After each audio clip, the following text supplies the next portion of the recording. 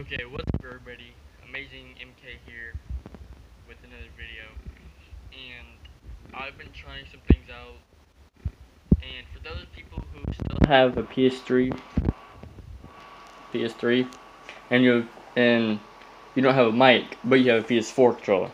So like I do, I have a PS4 controller. And since I don't have a mic, I use my headphone for the for the mic. Okay. So if you're trying to well if you want a mic and you don't have like you need you want to talk to people and you don't have a regular mic this is what you do. Okay.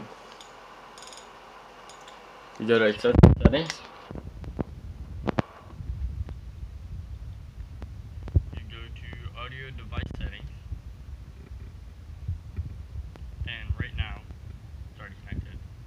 So, say it's on this. Press it. Go all the way up. And press that. Now, you can hear me. Well, obviously you can. But, see, it's working. But order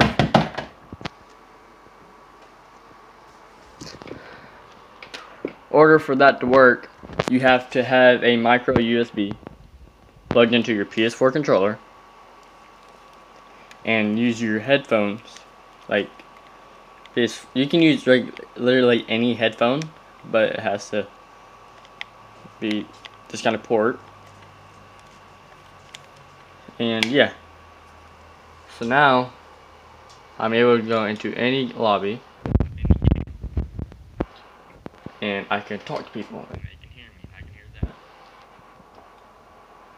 And you are able to use voice changers and all that.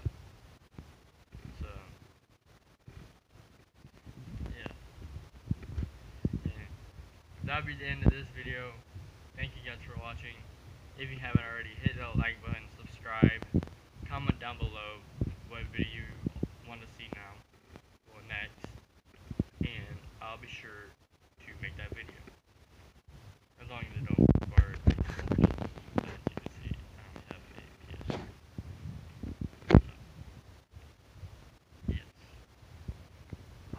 So that'll be the end of this video. Peace.